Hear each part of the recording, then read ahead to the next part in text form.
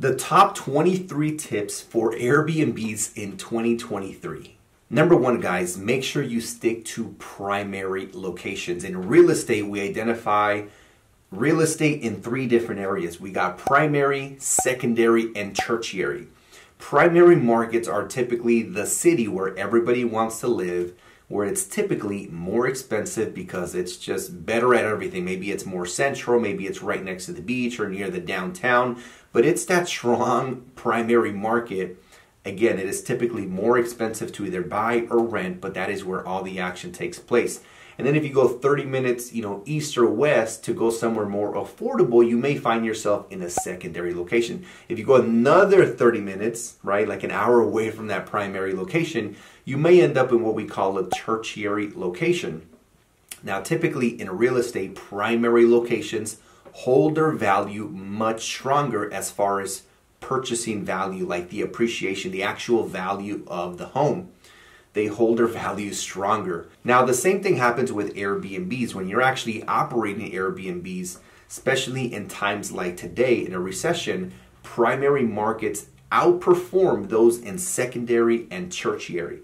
So make sure you guys stick to primary locations. The second one is make sure when you're looking at launching an Airbnb, make sure you run the numbers through the AirDNA Rentalizer. This will let you know if your short term rental has the potential to actually be profitable before you sign any leases. Number three, make sure you call the local building department in the city of the short term rental that you want to launch and you first verify whether you need a permit and if you can get a permit, how much it costs, how long it takes. You don't want to make the mistake of launching in an area where the numbers look great just to find out that you're getting a $500 bill you know, every couple days or every couple weeks because you're launching in an area that you shouldn't have launched.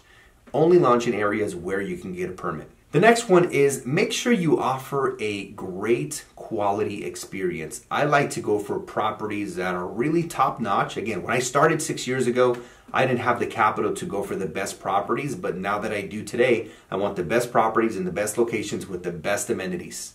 Make sure these properties are clean, fully equipped, and that they have all the amenities to provide a five star experience. The next one is make sure you are utilizing professional photography. Do not cut corners in this area.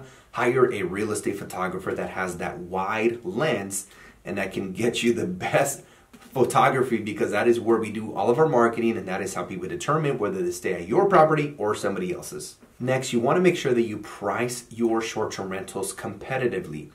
Even if you have the best property in the area, you don't want to be twice as expensive because even though people may want to stay there, there's a lot of people, especially today, that are shopping for different Airbnbs to stay at and they're and they may be on a budget. So just make sure you look at what everybody else is charging and make sure your prices are comparable. The next thing is make sure that your listing is optimized. Something that is super important is that the words that you use in your description and in your title truly matter to the actual algorithm because there's a lot of people who go on Google and they write a description of what they're looking for and your property actually might pop up because believe it or not Airbnb does a lot of search engine optimization.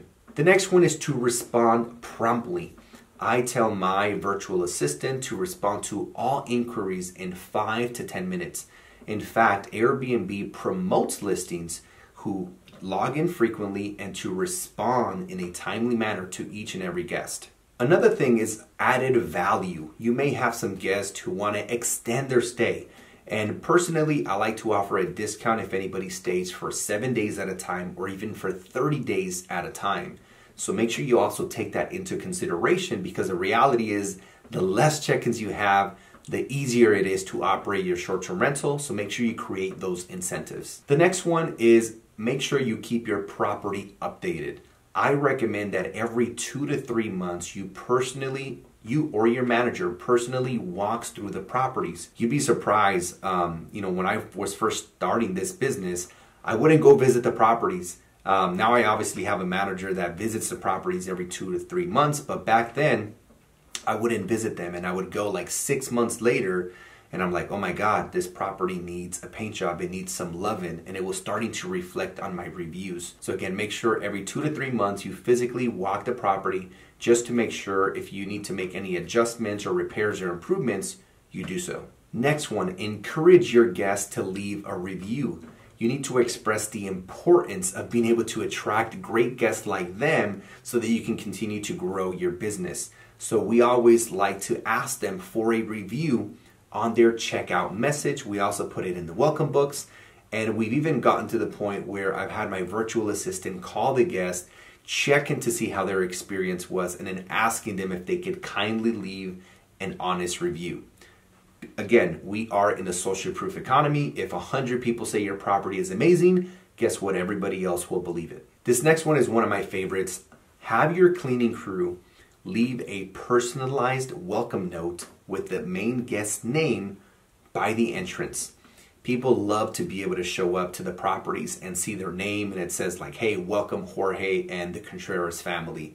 It's just one of those personalized touches that people really appreciate and it can go a long way. Remember, first impressions are anything and you only get one opportunity to make a great first impression. The next thing is to be flexible with check-in times and check-out times. Now, this is easier when you have one or two properties. Now, when you start growing and you have four, five, six, especially if you have the same cleaning crew cleaning all of them in one area, it does make it almost impossible to offer flexibility. But when you're just starting, if you're able to, it's only going to help your reviews, and guests will definitely appreciate that flexibility. The next one is to use technology in order to streamline, automate, and optimize. So, for example, you can use platforms like Beyond Pricing in order to automate the pricing. And they look at airlines, hotels, and events in the area, and ultimately they can help you price your properties properly based on supply and demand.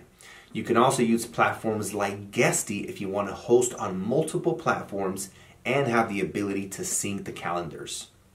You can use platforms like Turnover BNB in order to hire cleaning staff for whenever you acquire new properties and you don't have somebody to clean it. You can actually post your property on there, the job, and people will actually bid the property in order for you to find different cleaners. The next one is to offer a seamless check-in experience. Now, I know you think you're super awesome. And I think you're pretty awesome too. But trust me, these guests don't want to meet you. Make sure you set up a keyless entry in order to automate the entrance and exit of each and every guest. For this next one, make sure you stay up to date with industry standards just to make sure if there's any updates in the market or if you notice that other people are starting to do something trendy in order to create a better experience. So make sure you stay up to date with everything going on in the short term rental industry. The next thing is you want to build a network of trusted vendors. You don't want to have a different landscaper, a different pool person, a different cleaner each and every time. Ideally, you want to pick a team and that becomes what I call your power team. The same landscaper, the same pool person, the same person that cleans your Airbnb. And this way, they leave it the same exact way each and every time so that it also matches your marketing in the photography. Next, be proactive with guest communications. The guests are going to have questions before, during, and even after their stay. Again, make sure you respond in a timely manner. I recommend five to 10 minutes.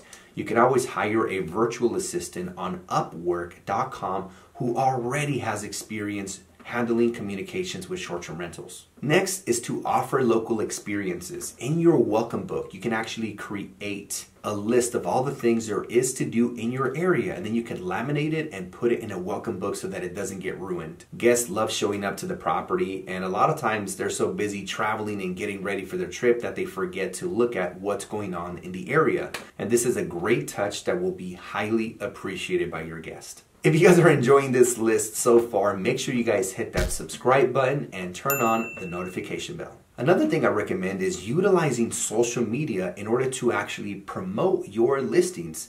Social media is free. All you need to do is invest a few minutes a day and you could even post your pictures. You could even make a video and you could even post the actual booking link to your Airbnbs on your Instagram bio. Again, this is free marketing that's only going to increase your occupancy. Next is we want to provide excellent customer service. The reality is things are going to happen. And it's not so much about things happening, but how quickly and efficiently are you responding and handling the things that come up. Again, we've had situations where, let's say, there was a miscommunication between our manager, VA, and the cleaner, and maybe the guest showed up and the property wasn't clean and we were able to handle it. We said, hey guys, can we offer to pay for your lunch? Just give us about 45 minutes and we're gonna turn over this unit while you guys go get some lunch. And again, most of the time that's worked. This doesn't happen all the time, but it has happened a few times in the last six years of hosting well over a thousand guests. So again, customer service is everything. The next thing, and this is honestly one of the most important things, if not the most important, make sure your property is super clean. The reality is people are gonna have kids who are gonna be crawling on the floor. You don't want there to be any dirt or debris or roaches or just anything. You wanna make sure the property is squeaky clean, you could literally eat off the floor. Not really, but you get what I'm saying. Finally, create a community. One of the things I love to do is set up a little book in an area where guests can actually leave a review. And what we have found is a lot of guests will actually sit there after writing their review or before they write a review and they will start looking at what other people said and what kind of incredible experiences and memories they all created. With that being said, guys, make sure you guys like this video. Check out one of my other videos here on my page, and I will see you guys on the next one.